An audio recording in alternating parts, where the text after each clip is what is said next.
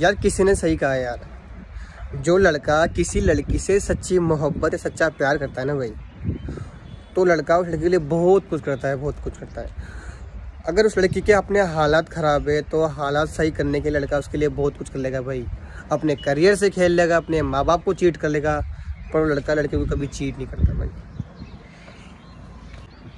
क्योंकि वो लड़का उससे ये उम्मीद लगाता है कि आज मेरा वक्त ख़राब है, आज इसका वक्त ख़राब है तो ये कल को मेरा बुरा इतना साथ देगी।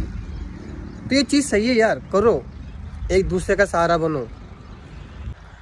पर वो बात गलत है, जब लड़का टूटा हो, लड़की सक्सेस हो, उसका साथ छोड़ दे। यार ये गलत है यार।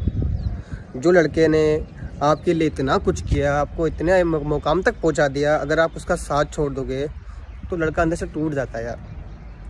और ऐसे टूटे हुए इंसान को उठाना बहुत मुश्किल वाला काम है यार।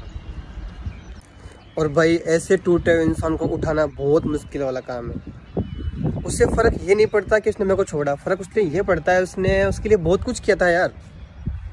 अपने घर वालों को चीट किया माँ बाप को चीट किया, अपने करियर से खेला। तो उसे बहुत बातें बहुत याद आती है कि यार, मैंने उसके लिए बहुत कुछ किया उसे वो चीज़, उसे उठने कभी देती नहीं है। मेरी आपसे यही गुजारिश है यार। कि आप एक दूसरे का सहारा बने। अगर कोई कमज़ोर होता है तब उसका साथ दे, अगर वो कमज़ोर है तब उसका साथ दे। वो जोड़ी बहुत आगे जाती है और लाइफ टाइम तक नहीं पाती है भाई।